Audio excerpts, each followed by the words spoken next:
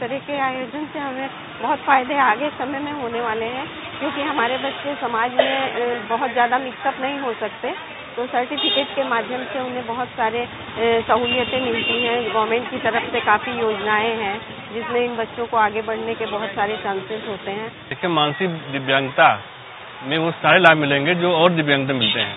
जैसे बस में, किराए में छूट, जो सरकारी आवास वितरण होते हैं, उनमें जो भी सरकारी लाभ योजनाएँ हैं, जिनमें दिव्यांग लोग लाभ मिलते हैं, वो इसमें मिलेंगे।